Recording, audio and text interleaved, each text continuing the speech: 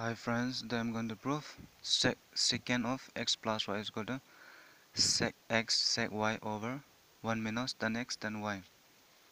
So we know sec secant of x plus y is just 1 over cos of x plus y and which is we know cos of x plus y is cos x cos y minus sin x. Sin y. Now dividing.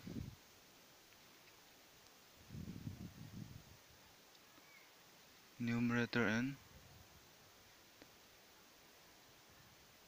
denominator by cos x cos y such that cos x and cos y is not equal to 0.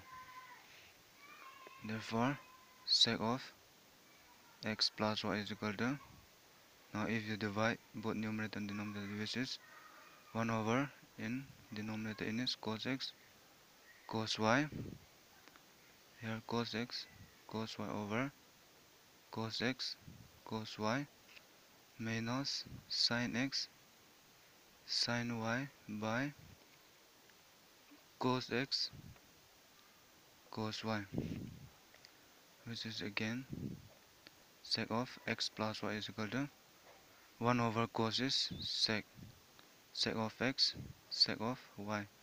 So this cancel. So 1 minus we know sine by cos is tan tan x tan y. So we prove it